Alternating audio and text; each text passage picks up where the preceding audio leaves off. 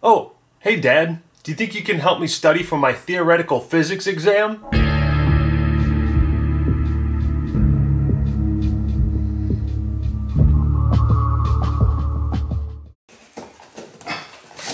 Dr. Gordon!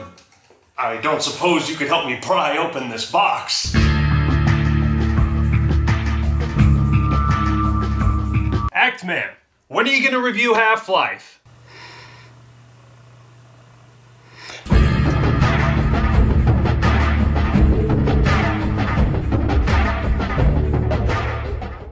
Science fiction and video games go together like Schwarzenegger and Carl Weathers. They're the two nerdiest things in the world besides anime. Good old science fiction films like Aliens would go on to inspire countless games across the world, including the legendary Half Life. Hailed as one of the greatest video games of all time, this gem takes a spot in almost every list on the subject. It's been given over 50 Game of the Year awards. In his first adventure, Gordon Freeman cemented himself as an icon and kickstarted Valve's rise to stardom, spawning a franchise of several single and multiplayer expansions, some remakes, yet only one direct sequel, which is kind of strange. Half Life is among the top 5 rated PC games on Metacritic. At one point, it even held the Guinness World Record for best selling FPS on computers. Some even go so far as to say it's the most important shooter ever made. Holy headcrabs, Batman! What a list of achievements! Rarely does the gaming community, and especially the internet in general, come together and unanimously agree on something. Because we're all supposed to hate each other. Remember, your subjective opinions are objectively incorrect. Half-Life 1 is awesome and everyone should play it. Thank you for watching this video. Now please direct your attention to the like button, share this on MySpace, really helps me out guys. Now some of you might be asking, Actman, why are you reviewing Half-Life, a 40 year old game? Well, if you've played any shooter in the last 23 years, then it's time for you to pay some respects to one of the GOATs. Of course, you can't talk about how great Half Life is without mentioning the crater of an impact it made on Valve, gaming, shooters, and sequel conspiracy theorists is this image real? But you also say to me, Act Boy, just because something made a huge impact or changed technology doesn't automatically mean it's worth anything today. Nobody uses the freaking typewriter anymore. That's true. Some things are only valuable in the time period they lived in. But here's a more relatable example GoldenEye. Sure, it brought first person shooters to consoles, but then Xbox came out with a controller that made shooters worth playing on consoles. So while GoldenEye may have changed the industry for the better, it's not really something people are dying to go back and replay on the Nintendo 64. so how is Half-Life any different from GoldenEye? That's a fair question. Is Half-Life 1 worth playing now? Or has its legacy and importance become less relevant? What made it so special that it inspired countless other developers to emulate its formula? Why was it so successful? And 23 years later, is Half Life 1 still a masterpiece? Well, let's push this thing into the thing, get invaded by aliens, and rev up our crowbar straight into this. Watch this. Hey, Gordon, what do you think of the Raycon Everyday E25s?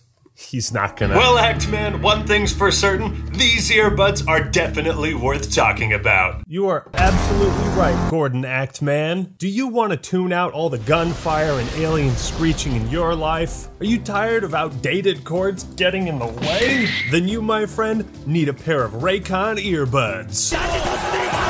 Raycon has arrived from another dimension to offer you premium audio quality at half the price of other top brands. The charging port can be taken on the go. It's a perfect compact design that'll easily fit into the pockets of your HEV suit. The earbuds hold up to 6 hours of playtime and the charging port up to 24. It's impossible! Bluetooth pairing is as simple as picking up a crowbar, and Raycon offers several cool designs and colors. Co-founded by Ray J, I just got off the phone with Mike Tyson, and he loves these headphones. Wish he didn't bite that one guy's ear off, because now he can only listen to half the glory. I use my Raycons anytime I go out on a run or work out. Seriously, these are amazing earbuds. And if you use the link buyraycon.com slash actman, you better believe your sweet head crabs you're getting a 15% discount off your entire order. That link buyraycon.com slash actman is in the description and pinned comment. Thank you, Raycon,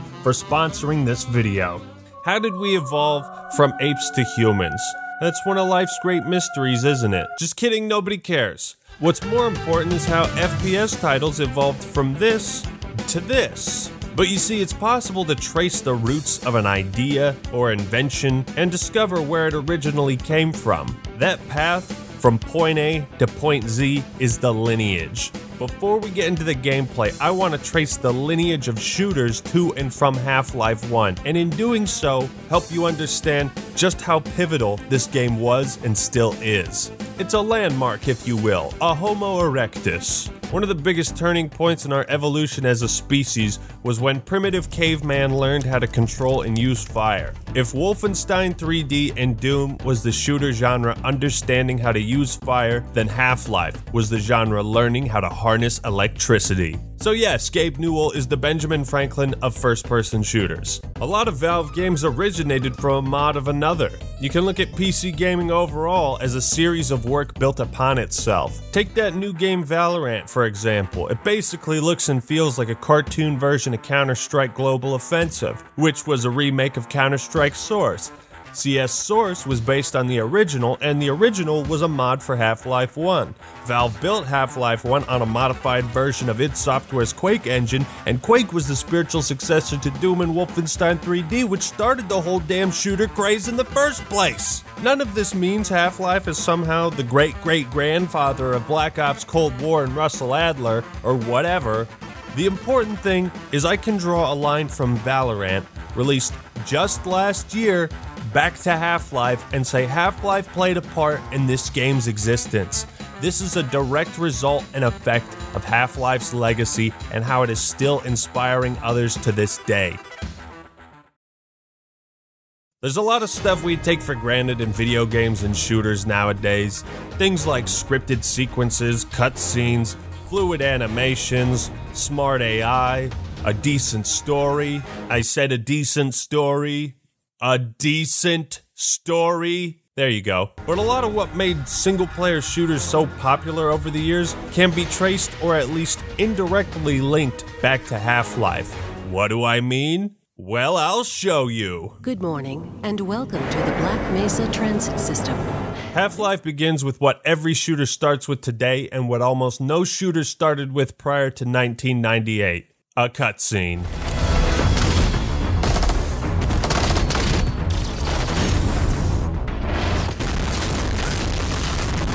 You dropped into the shoes of Dr. Gordon Freeman, who's late for work. Morning, Mr. Freeman. Looks like you're running late.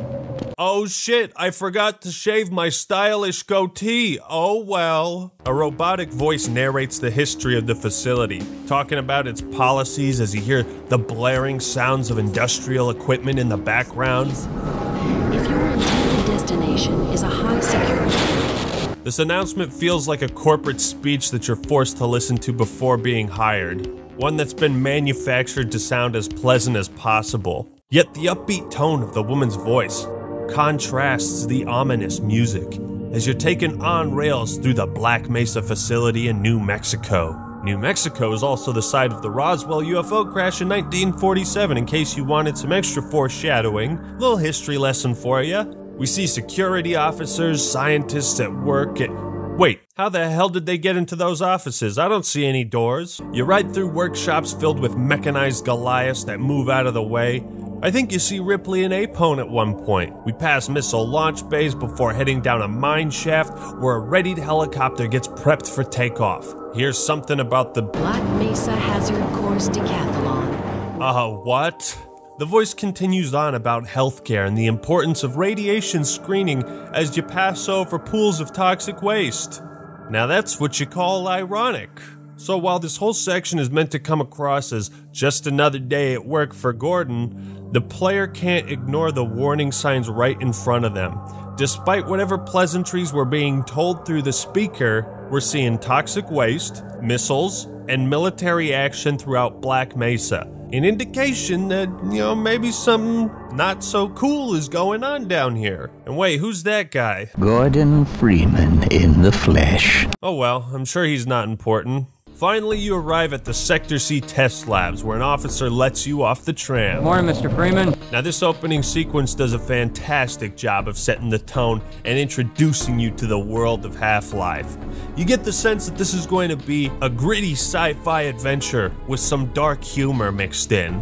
No, I'm not trying to say Half Life invented cutscenes in video games. Symphony of the Night did that. Time, monster.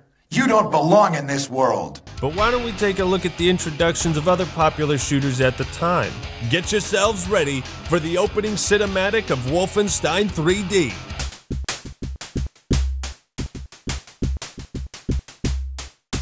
There is no cinematic. Here's how Doom starts. Oh, nothing there. Quake? Nope. Duke Nukem 3D? Damn, those alien bastards are gonna pay for shooting up my ride. Well, he mentions his ride was shut down and he likes titties. I mean, that's that's something. I guess GoldenEye is a brief intro for each mission, but it's just to show the player where they are. Do you see the first thing that made Half-Life stand out? It went against every shooter's first instinct because you weren't given a gun in the beginning and immediately started blasting everything in sight. Valve showed restraint. Not that there's a problem with jumping into the action right away. I bet loads of people with ADHD couldn't sit through this. But it was only a matter of time before someone came along and said, let's write some context for why you're shooting aliens. I could sum up the general attitude towards shooting games back in the 90s by quoting John Carmack, the father of the genre. No disrespect to him, this was a common sentiment at the time. Story in a game is like a story in a porn movie. It's expected to be there, but it's not that important. John, I'm glad this quote is now outdated because the stories in pornos have gotten way better. You see, back in the 90s, Doom was the hottest shit out there, and everyone wanted to copy it. That is, until Half Life came along. Kind of like how a few years ago enhanced movement was really popular until battle royales started shifting away from that. In this sense, Half Life was like PUBG, except it wasn't a pile of garbage made by a group of greedy assholes who tried claiming ownership of a genre. We are concerned that Halo may be replicating the experience that Half Life is known for. While I will go on record and say Doom is probably the most influential game of all time, when you compare the openings of Half Life to these other titles, and even Doom, there's no contest. Story, characters, is my hiding spot. context, and build up. These were not the things that made Doom so awesome. And Doom didn't become obsolete when Valve released Half Life, they simply iterated and evolved the formula. Little did Valve know this simple addition of a non combat area and scripted sequences that happen in real time would become the new norm in video games and set the foundation for the next 20 years worth of shooters. Bioshock, Halo, Call of Duty, Battlefield, Metroid Prime, Fallout, Uncharted, Battlefront, Titanfall. None of these franchises would be where they are without Half Life. You can really see how strong this trend is when you look at Destiny, a game that tried to shift shooters away from telling stories. I don't even have time to explain why I don't have time to explain. It didn't work out so well. Battlefront 2015, Black Ops 4, Overwatch, these games were derided because Half Life made it a standard. If you're making a shooter, people expect a story along with it. I'd have a serious case of blue balls if this was the only part of Half Life that had this level of effort put into its story and scripted sequences. But thankfully, my balls are a okay. Don't be fooled by the graphics, ladies and gentlemen. The opening and entirety of Half Life has aged as well as Keanu Reeves. So you stroll into the anomalous materials front office, and one of the scientists and security officers tells you you're needed for some kind of experiment. Yeah, just another day at work. Anyways, you go down to the. Hey, That stench. I've smelled it before. you start talking to more scientists, and at this point, you start to wonder why you're suspiciously not given the full details of what's happening. Now, now, if you follow standard insertion procedures, everything will be fine. I don't know how you can say that, although I will admit that the possibility of a resonance cascade scenario is extremely unlikely. Gordon doesn't need to hear all this. Yes, I do. I'm the guy on the front cover. Everyone's waiting on Gordon, so he grabs his classic hazard environmental suit before heading down into the main reactor. Some gadgets on the wall start breaking, It's about to go critical. making you feel a bit worried. What the hell is going on with our equipment? It wasn't meant to do this in the first place. Guys, I don't know what you're up to, but it, it sounds like something is gonna go horribly wrong. Gordon, we have complete confidence in you. All right, well, I'll do it, but I'd hate to say I told you so. I fucking knew it! Ah! Don't ever give up, my son. So the anti-mass spectrometer goes haywire, causing a resonance cascade, which is just fancy talk for aliens are here now. Leave it to science to screw everything up. You get a brief glimpse of this foreign world before being transported back. Oh god, they're watching me. Now it's time to assess the damage. Dead scientists and officers are everywhere. The place is a total wreck. A man desperately tries to revive another. Oh, Jesus! But at least we're given a new objective. Please get to the surface as soon as you can and let someone know we're stranded down here. Only one problem, Doc. I ain't got no weapon. Now, would you kindly find a crowbar or something? Thanks, Atlas. Now this is starting to get interesting. This is where the fun begins. Just gonna call the elevator and. I'll, uh, I'll get the next one. Even with its primitive graphics, the storytelling in Half Life is just as engaging as it ever was. Like when you walk into this office, you see a guy being pulled into the vents. He reaches out desperately for aid. Another dude tries to help.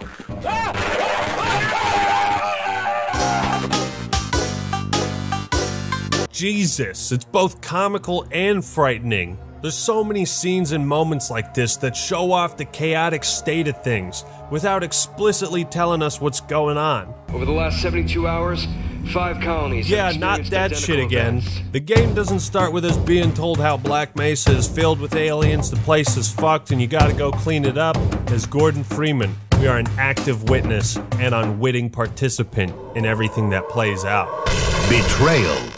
It must have been a trip for gamers back then to see, for the first time, other humans that weren't actively trying to murder you. Let alone watch these officers and scientists walk around like real people. Order drinks from a vending machine, work at a computer, get attacked by a giant tentacle monster.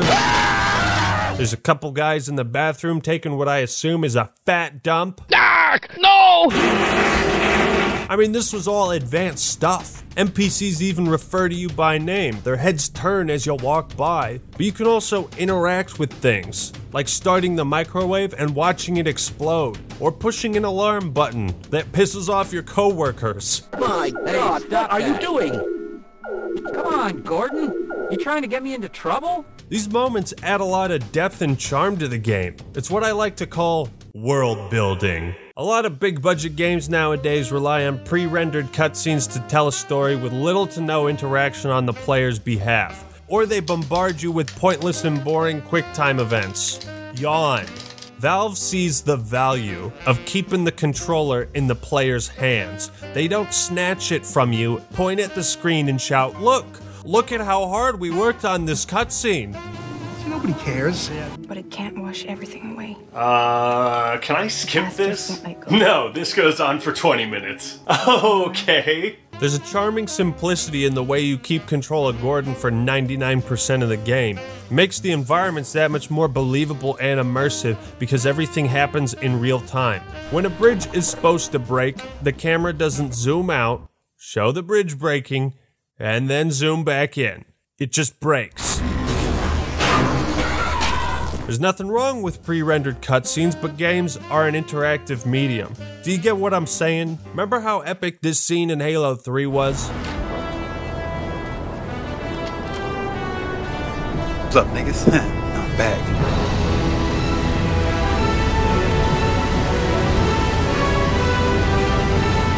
Moments like these can be way more powerful in a video game when you show restraint and don't take control away from the player. Let them look around and appreciate it themselves. Let them stay in the moment. This is the philosophy that Half Life sticks to, and if you notice, it's the same thing with Bioshock. Both have silent protagonists. Gordon Freeman is the perfect vessel for you to imprint yourself in the labs of Black Mesa. Your reactions are his reactions. He doesn't scream at the first sight of a zombie like a wimp. Ah!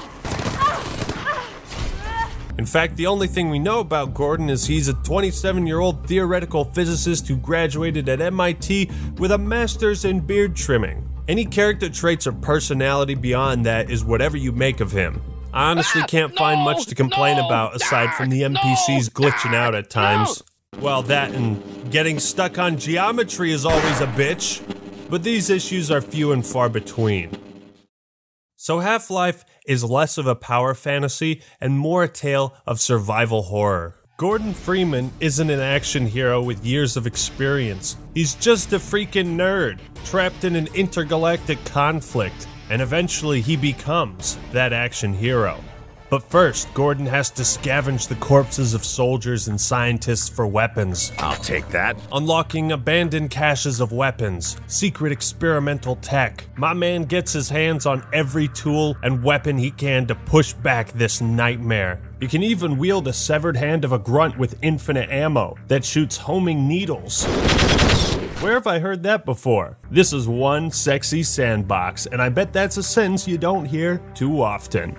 One thing I wish shooters did way more of is give weapons a second function. Whether it's a barrel mounted shotgun, noob tube, an EMP blast, different types of ammo, it just makes the weapon way more fucking cool. It could even be something simple like left click for semi auto fire and right click for rapid. Half Life does this amazing thing where it takes a standard familiar gun and puts a slight twist on it to make it unique. How many games have I played where a shotgun can fire one or two slugs at the same time? Like one other game? You can shoot rockets straight or use the homing function that follows your cursor. Every weapon has these small additions, but together they make a huge difference in the way Half Life is played. I mean, bugs. Bugs are a weapon in this game. Oh shit, they turn on you! Need I say more? Back to the horror, Half Life is proof that graphics aren't the only thing that makes a game scary.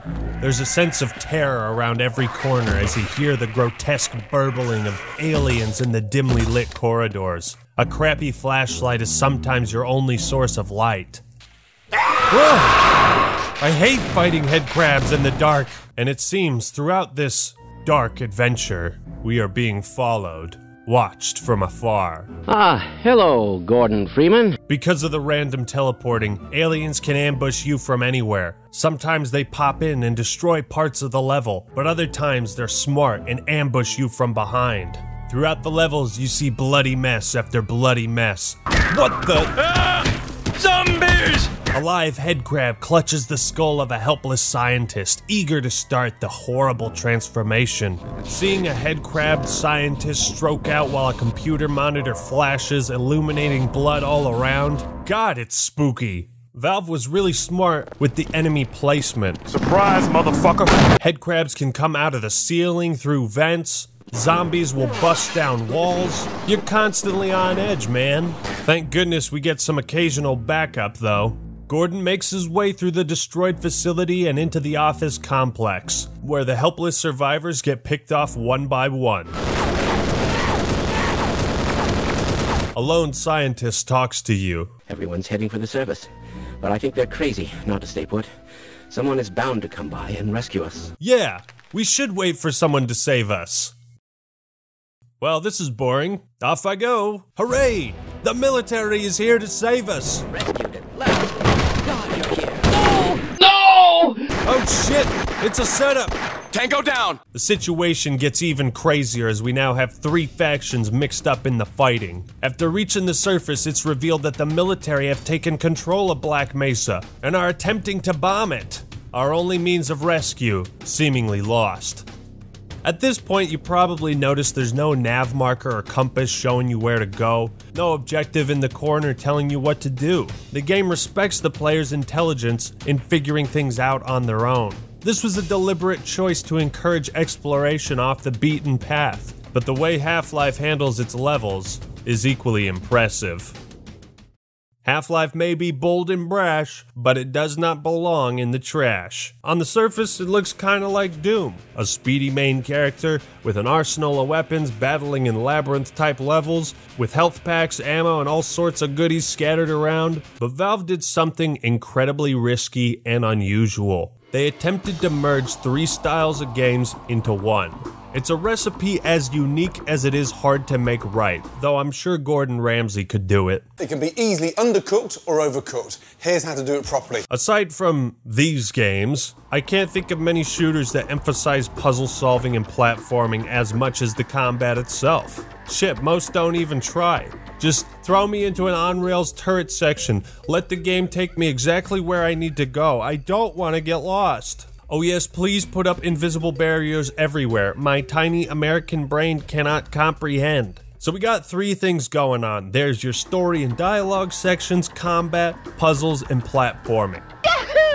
Half-Life is these components in alternating order. The first two levels, for example, you'll learn about the Black Mesa facility through the story, and then have to platform through some traps before getting a crowbar for combat, and then you solve a puzzle to get through to the offices. This is what keeps gameplay fresh from start to finish. Later on, they start mixing and matching the force, so you may have to solve a puzzle while you're platforming on conveyor belts, or you could be fighting aliens at the same time you're jumping around on a minecart. Or there might be a giant green monster you can't kill with conventional weapons, so you have to solve a puzzle to burn its ass. Half-Life never stays on one type of gameplay for too long, or have you do the same thing over and over again. No gimmick overstays its welcome. Yes, Bioshock, I said it. It's perfectly paced gameplay, focusing on build-up, and it triggers your critical thinking skills to kick in. That is what the Half Life series is all about. But the reason I enjoy the puzzles is because they're not that difficult. Sometimes I don't have patience for the puzzles in platforming, and there are some frustrating areas, like this slippery ass bridge that not even Luigi could jump on. Ugh, just get over there. Come on, get over there. Oh, there's sharks in the water too if I screw up? Great. Fucking hate these jumps where you don't make it if you're one pixel off. You know, it's a real bitch jumping across tiny platforms when you move like Sonic the Hedgehog. Here's one complaint the movement. Slow the hell down, Gordon. I know you can walk, but I often found the control was inhibiting my ability to make these jumps. Like here, I can't even swim up through this hole. Like, get, get up! Go through the hole! What the fuck? Where did it go? Oh my god! Also, yes, I did have to look up a YouTube guide a few times. The platforming gets real crazy when you head to Xen, and you get this gravity suit that lets you long jump 50 yards. Overall, I'd say the puzzles and platforming are fun in their own right, but they also make the levels far more interesting to play through and look at. But how's the core shooting? My god, does it kick ass.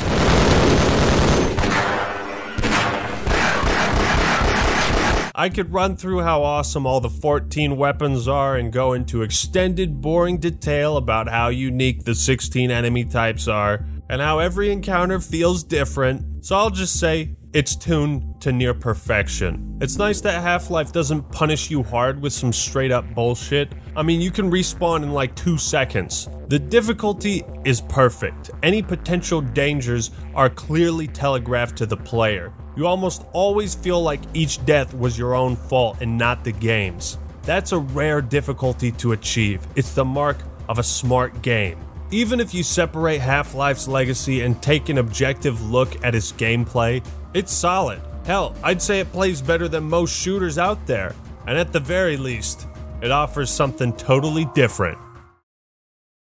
Marc Laidlaw is the expert writer behind Half Life's narrative, and I wanted to give the guy some credit. Please enjoy this two second round of applause. Well done! Thank you. Half Life was written in a way to give you enough details that you end up wanting more. I want more. It's one of those stories I end up Googling to satisfy my craving for answers. What were the scientists trying to accomplish by putting this thing into the thing? It's never explained exactly how and why aliens came through the portal, at least not till later games. And I like it that way, it sparks intrigue. So Black Mesa is crawling with aliens from a foreign world, and the military is shaking things up even more because they're trying to bomb the whole area. Throughout the game, you actually hear the Marines talk to each other about the mission. I've heard you 12 dumbass scientists and not one of them fought back. This sucks. They question orders. There's a lot of moral ambiguity here. And even as Gordon Freeman, we have to wonder about our own actions. Did we cause all of this? But Dr. Freeman soon becomes priority target number one as he's proven to be the deadliest nerd amongst the Dungeons and Dragons fan club at Black Mesa. At one point, the Marine's sole objective is to take him down.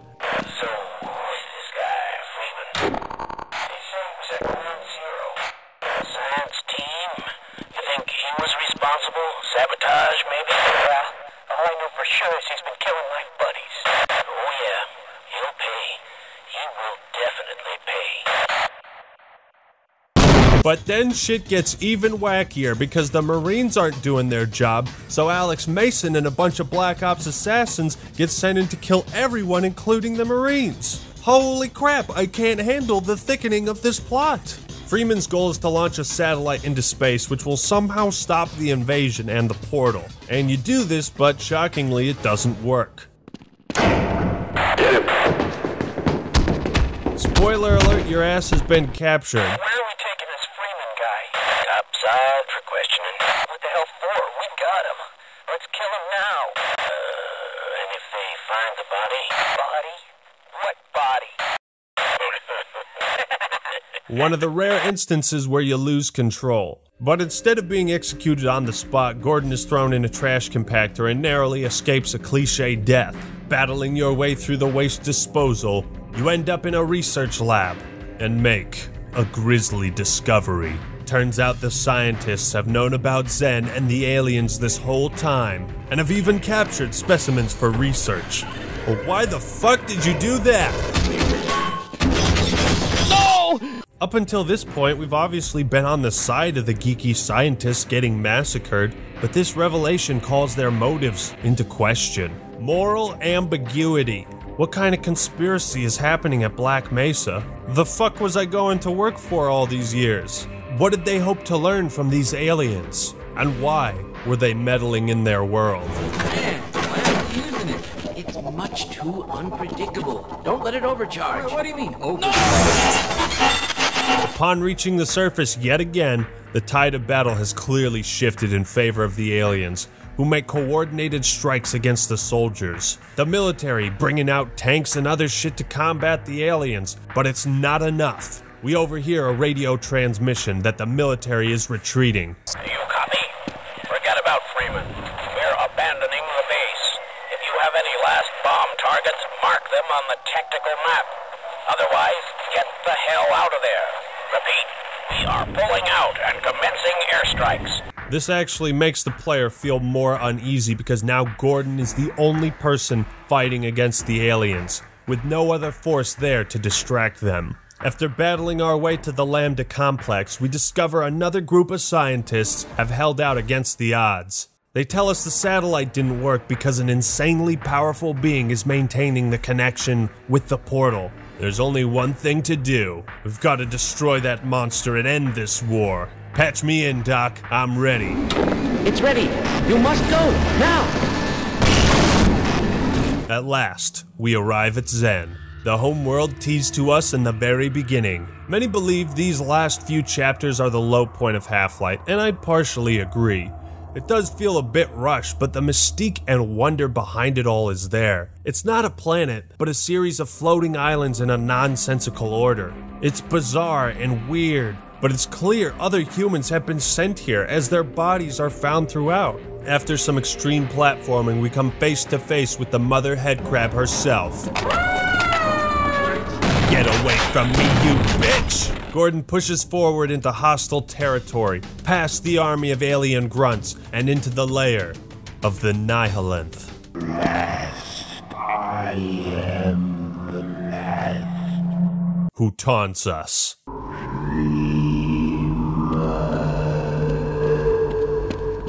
Yeah, shut your mouth, baby bitch. It's an epic multi stage boss fight as we're teleported from room to room, fending off waves of enemies until we obliterate this giant floating baby once and for all. If I go down, I'm taking you with me! Yes! I did it! And now I shall die and be remembered as a hero for all time. It's you, the mysterious man! Gordon Freeman in the flesh. The G Man reveals himself impressed at our handiwork and tells us his employers believe we have, limitless, potential. We get a slight resolution to this whole conflict, and at the end, we're back where we started. Although not exactly. Two men in a tram heading towards the unknown. G Man gives us a Hobson's choice, and that there's only one thing being offered, and what he gives us is an illusion. Either live and work for me, or I use my superpowers to kill you. Time to choose. Well, since it's rather an anticlimax after what we've just survived, there's only one destination. Wisely done, Mr. Freeman. I will see you up ahead. Gordon Freeman, status, hired. For six long years, these were the last words we'd hear about the fate of Dr. Gordon Freeman. Half Life has an incredibly captivating story, one that leaves you with way more questions than when you started. Who is the G Man? Why does he talk like somebody pretending to be human? What are his motives? Who are his employers? Was this all just a power struggle between other alien groups whose power far exceeds our comprehension? Many of these questions have never, ever been answered, leaving fans to speculate for decades. And that's why it's so fun to talk about the story of Half Life. I praise Dark Souls for this too the endless room for interpretation. Maybe Half Life reminds us the disastrous effects of meddling in things beyond our understanding. At the end of the day, nobody can deny Half Life 1 has more than earned its reputation as one of the GOATs. This game stands shoulder to shoulder alongside Doom, Quake, Combat Evolved, COD 4, Bioshock. Every masterclass first person shooter out there is homies with Half Life. It's a pivotal moment in the evolution of gaming, and something that deserves every bit of respect and recognition it gets. Half Life's legacy is still seen and felt today through the lineage of shooters, not to mention the advancements it made in the modding scene. Its formula still being replicated, even without the nostalgia and circle jerking, it's a damn competent shooter capable of surprising you at every turn. You gotta commend Valve for taking such huge risks and doing things most shooters were too afraid to try. Half Life 1 is still worth playing 23 years later. I had so much fun. With its unique blend of platforming, puzzles, shooting, action, and horror, in my 7.5 hour playthrough, there was never a dull moment. The AI was advanced for the time, but it does show its age. Yet it's easy to see how the NPCs and dynamic enemy behavior blew people's minds back in the day. Wolfenstein and Doom are the granddaddies of the first person shooter genre. However, Half Life was the title that showed everyone shooters could do more than shoot. And Half Life showed the world not every action hero needs to be a cigar smoking alpha male dude bro. Sometimes the quiet, nerdy scientist, on his way to work, gets thrust into an epic race of survival. It's no surprise why Valve went from a nameless nobody to a household name after releasing their first game, because Half Life was, and always will be, a masterpiece.